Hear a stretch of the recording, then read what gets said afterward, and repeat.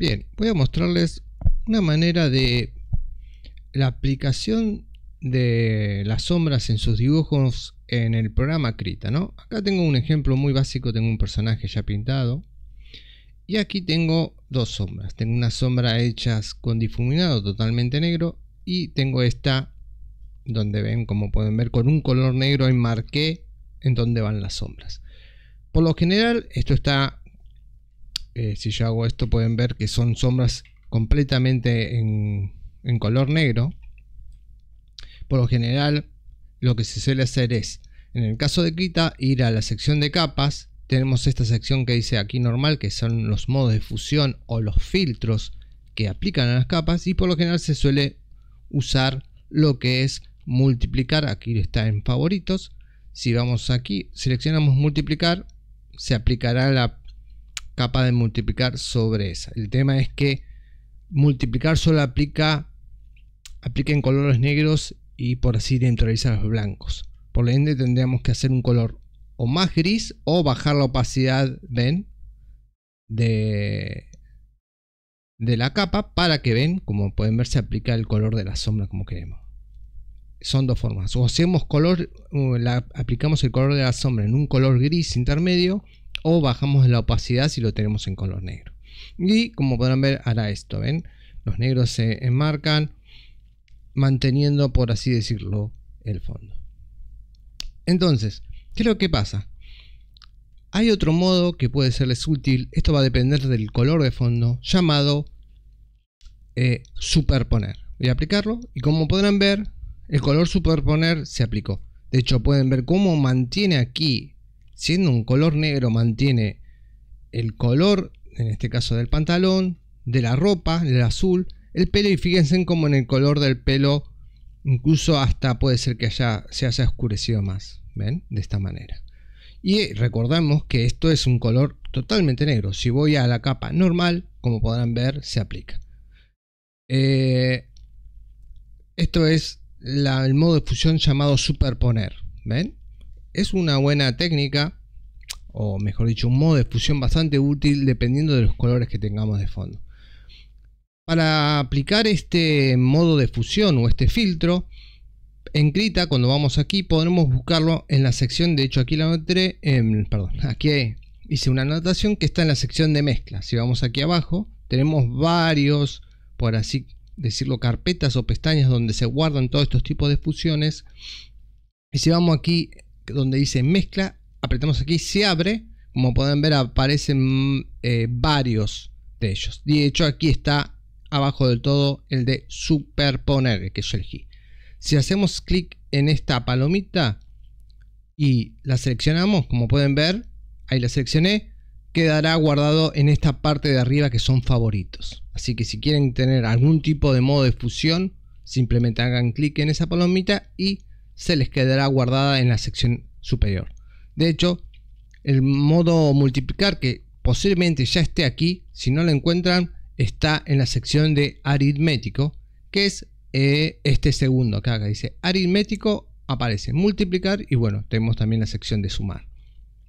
Y si por dato quieren saber más, el de el de normal creo que está en en mezcla, creo que está normal, ¿no?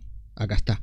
Si quieren volver a hacer la capa en forma normal, o sea que no tenga ningún efecto de filtro, tenemos aquí lo que es en mezcla tenemos aquí lo que es normal, o sea que hace que la capa vuelva a su estado original o, base.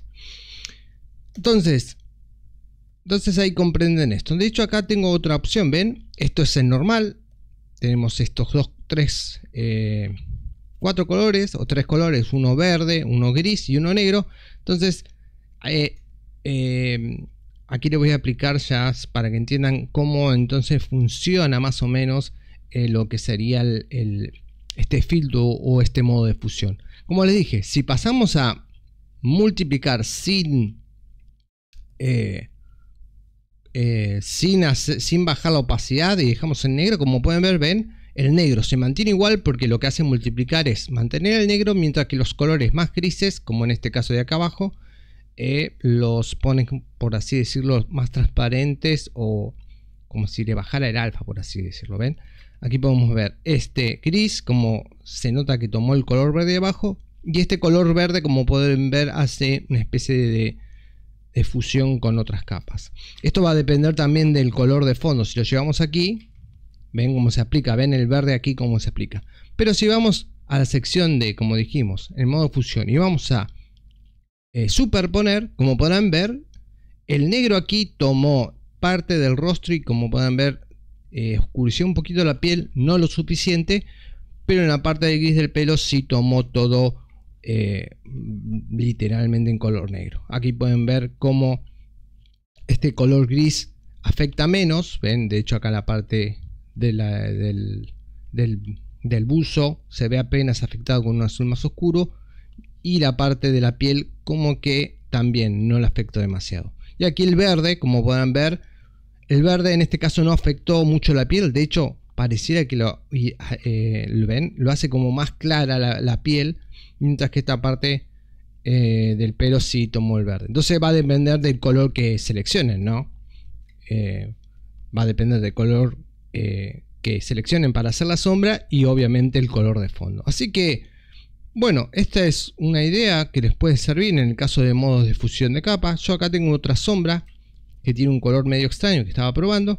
Y bueno, si le aplico el color superponer, perdón, le apliqué a otra, aquí, voy acá, le pongo superponer. Como podrán ver, eh, tomó acá parte de la piel, pero no se nota mucho, ¿ven? Como oscureció aquí parte de la piel, apenitas.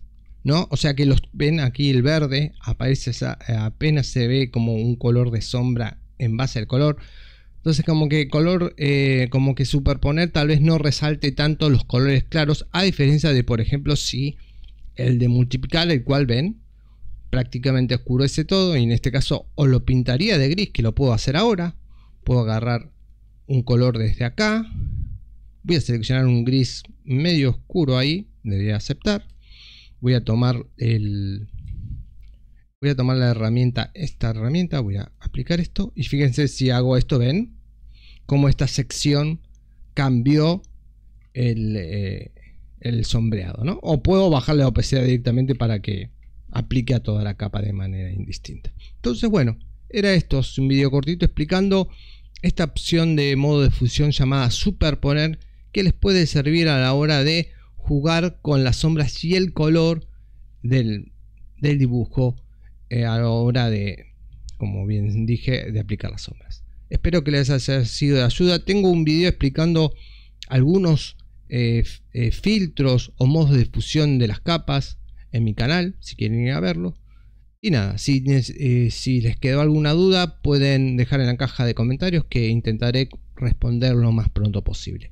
Eso es todo y será hasta un próximo video.